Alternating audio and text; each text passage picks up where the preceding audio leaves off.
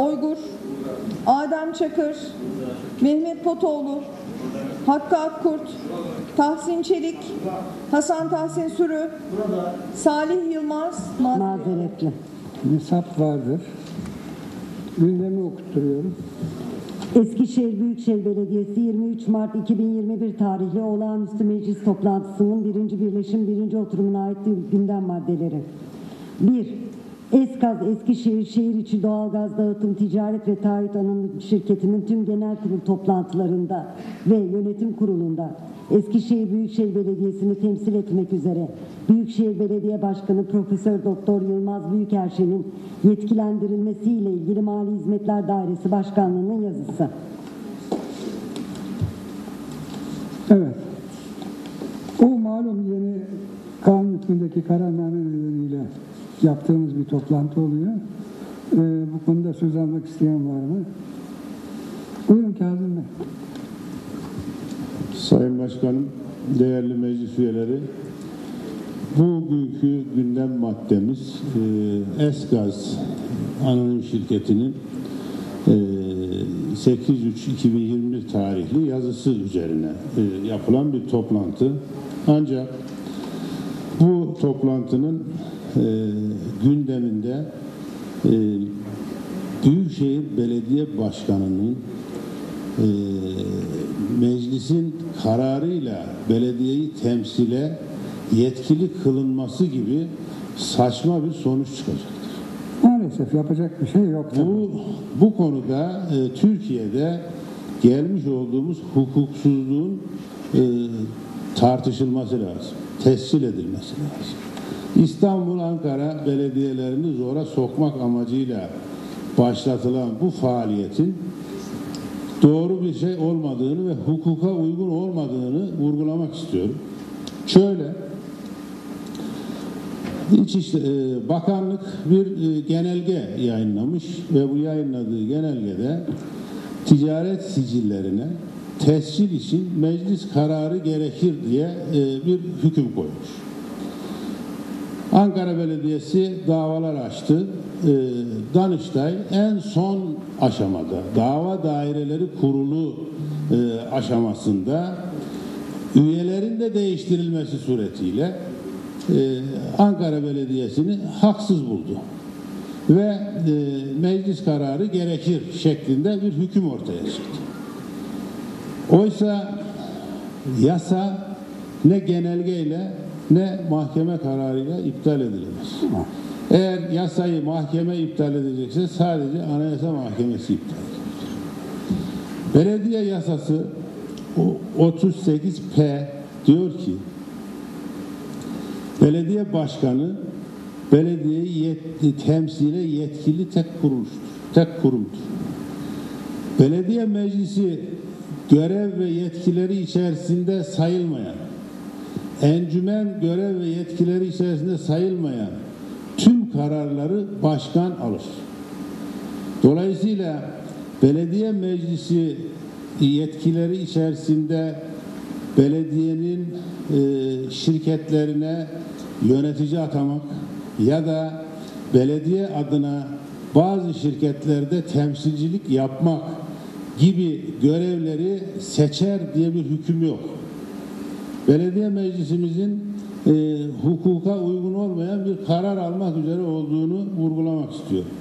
Bunu e, zorlamanın bir anlamı da yok.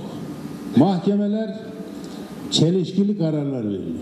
Danıştay Dava Daireler Kurulu e, bir karar verdi ve vermiş olduğu bu kararla idari yönden bazı bağlayıcı hükümler getirdi. Ancak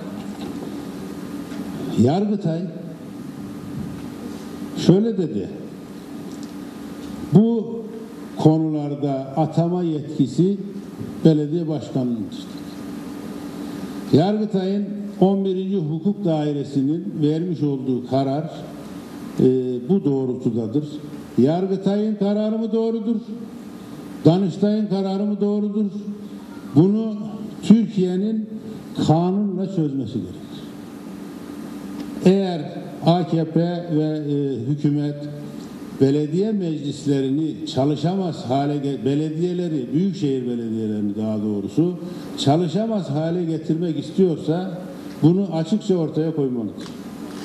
31 Mart'ta siz dahil olmak üzere bütün belediye başkanları halkın oyuyla seçildi ve 31 Mart'a kadar ya da 31 Mart sonuçlarına kadar belediye meclislerinin böyle bir görevi yoktu. İstanbul'da, Ankara'da onlarca şirket var. Onlarca şirketi belediye başkanının atadığı yöneticiler yönetti. Şimdi işi değiştirmeye çalışıyorlar. Ama Esgaz'ın yaptığı bunların tamamen dışında bir şey. Tersine bir şey. Esgaz'ın genel kuruluna katılacak kişinin belediye başkanı olması belediye meclisinin kararına bağlı olamaz. Bu yanlıştır. Bunu tutanaklara geçsin açısından söylüyorum. Türkiye'de hukuku savunacaksak, Türkiye'de hukukun üstünlüğünü gündemde tutacaksak her alanda bu mücadeleyi yapmamız gerekir. Danıştay ısmarlama bir kararla yani bunu açıkça da söylemekte yarar var. Çünkü dava daireleri kuruluna katılacak üyeler ikinci toplantıda değişti.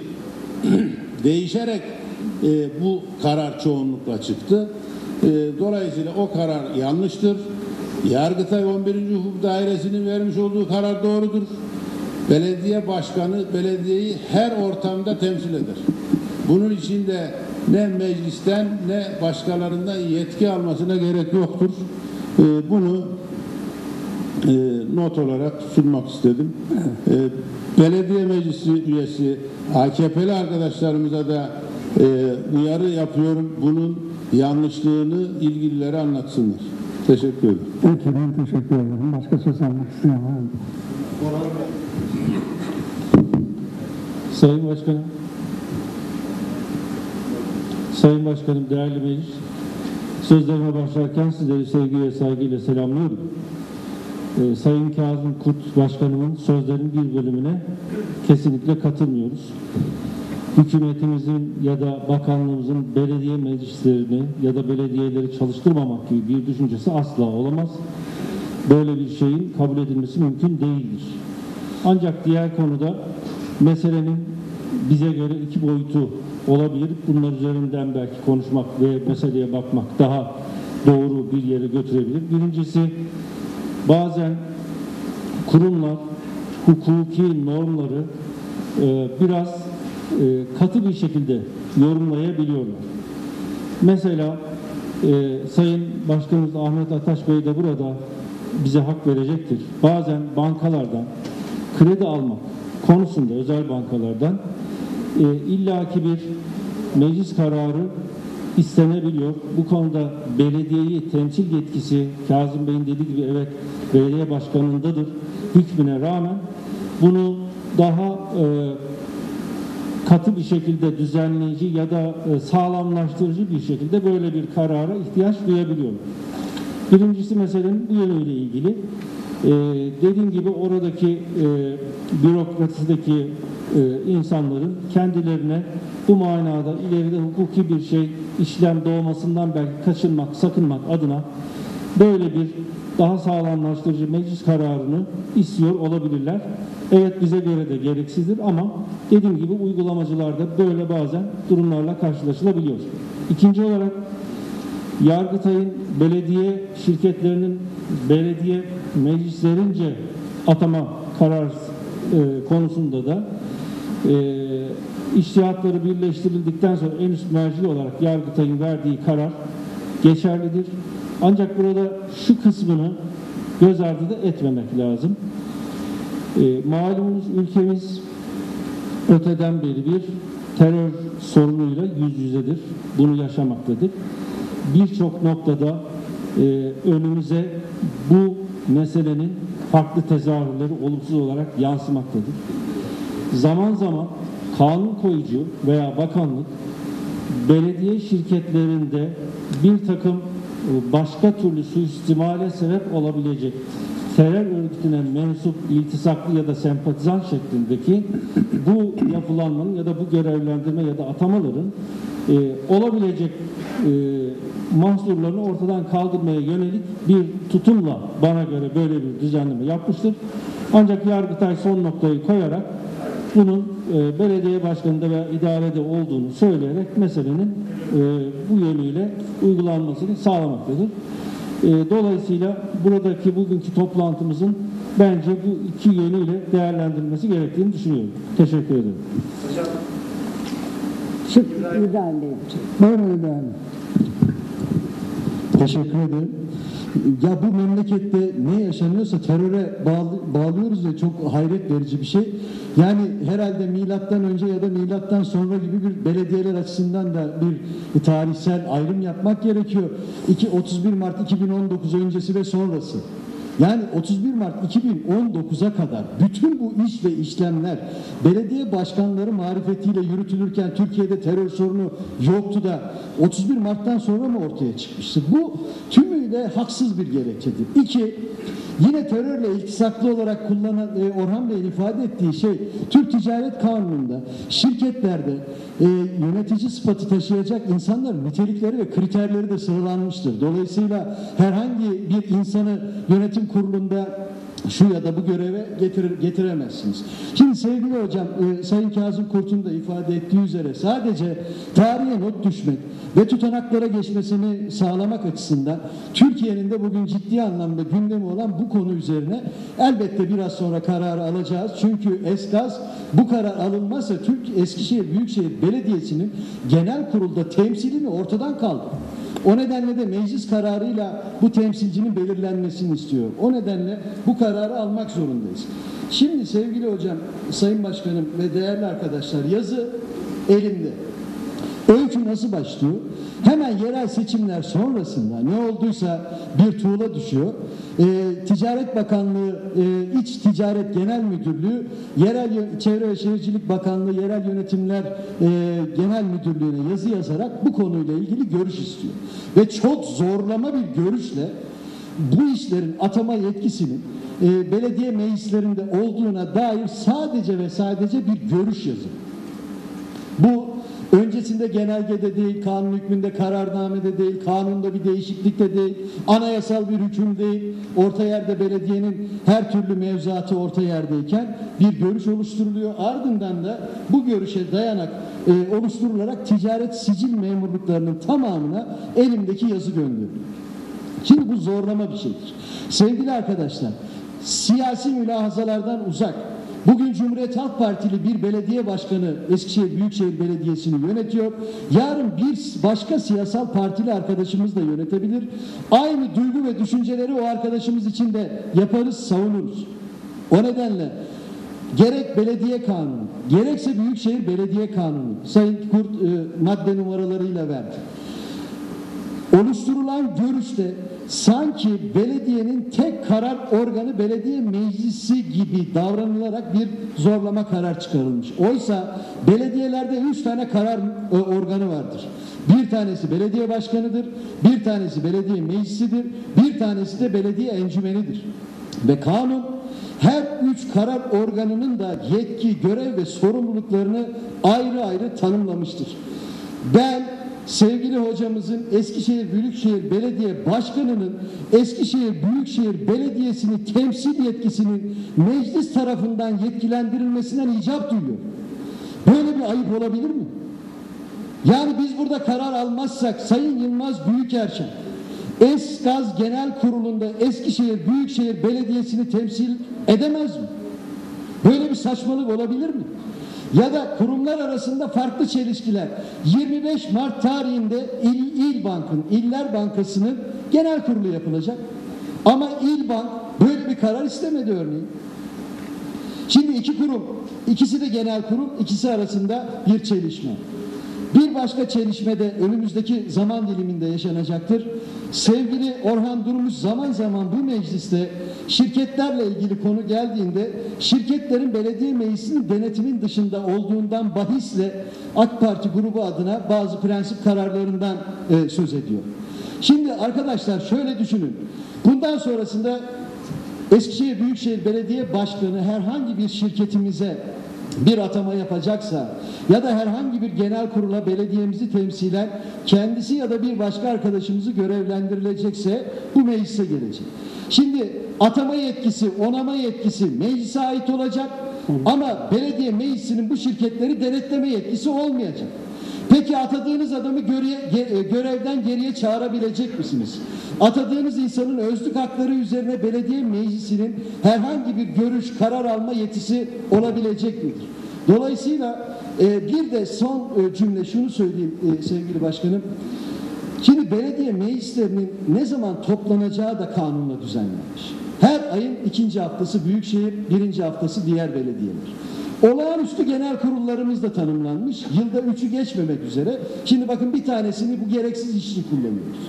Yarın acil farklı farklı çok temel konular olduğunda belki de üçüncüyü aşabileceğimiz için bu tür toplantıları yapma şansımız da ortadan kalkacaktır. O nedenle tarihe tanıklık etmek ve tutanaklara geçmesi bakımından yapılan iş ve işlemin son derece yanlış, yersiz ve zorlama e, bir takım kararlar olduğunu belirterek e, saygılar sunuyorum. Teşekkür ederim. Buyurun. Sayın Başkan, değerli meclis, hepinizi saygı ve sevgilerimle selamlarım. Şimdi olağanüstü bir e, meclis toplantısıyla ilgili e, buraya çağrıldık. Gelirken arkadaşlarımızla konuyu meşhur ettiğimizde bu konunun AK Parti grubu adına da e, oy birliğiyle geçirilmesi konusunda bir hemfikirliğimiz var. Yani burada e, bir kaşık suda kopartılan fırtınayı da anlayabilmiş değilim işin açıkçası. Sanki burada bir muhalefet e, bu anlamda uygulayacağımız düşünülerek mi bu konuşmalar yapılıyor bilemiyorum. Ama de, şimdi Kazım Bey e, tabii Ankara ve Büyükşehir, İstanbul Büyükşehir Belediyelerinden örnek e, vererek konuşmasına başladı. E, Orhan Bey'in de öyle ilgili e, vurgusunun lütfen yanlış anlaşılmasın. E, doğudaki büyükşehir belediyeleriyle ilgili olan hassasiyetini belirtmiş olduğu için söylediler. E, şimdi burada çok daha e, geniş kapsamlı bir hassasiyet gösteriliyorsa bunu mecliste göstermelerini tavsiye ederim. Ha, e, Türkiye Büyük Millet Meclisi'nde göstermelerini tavsiye ederim. Ee, ama İstanbul Büyükşehir Belediyesi ile Ankara Büyükşehir Belediye Başkanlarını düşünüyorsalar arkadaşlar bırakın da oradaki e, arkadaşlar bunun savunmasını orada yapsınlar. Ha meclis çoğunluğu orada sizde diye bir e, eleştirileri varsa arkadaşlar e, İstanbul Büyükşehir Belediye Başkanı ile Ankara Büyükşehir Belediye Başkanı'na bir tavsiyem var. İki dönem meclis çoğunluğu AK Parti'de olduğu bir meclisi yöneten Yılmaz Büyükelçen'den eğer akıllanırsalar herhalde bu sorunları da kalmaz diye düşünüyorum. O yüzden de bu kadar da e, konuşmalarda birbirimizi e, daha fazla ateşli, hararetli tartışmalara sevk edecek bir yere gitmemize gerek yok. E, gündemi oylamanızı tavsiye ederim Sayın Hocam. Efendim gündeme oylarınıza sunuyorum. Kabul edenler, etmeyenler oy birliğiyle kabul edilmiştir. Gündemin birinci maddesini oylarınıza sunuyorum. Bir madde zaten. Kabul edenler efendim gündemi oy birliğiyle kabul edilmiştir. Dolayısıyla ben de gösterdiğiniz güvenden dolayı hepinize teşekkür ediyorum. Bütün üyeleri. Evet, tabii yani Şimdi oturum kapandı ama kapıyorum daha doğrusu. Şimdi pek çok kanunlarda da var. Mesela şirketler düzeni bile, kanunları bile bozuldu. Biliyorsunuz limited şirketler birden fazla ortağın olduğu e, ticari kuruluşlardır. Anonim şirketler anonim pardon limited şirketlerde tek kişilik bir e, yapı oluyordu, vardı. Öyleydi kanunumuz. Anonim şirketlerde ise birden fazlaydı. Ama şimdi anonim şirketlerde bir kişi oluyor. Adı anonim şirket fakat bir tane yöneticisi var.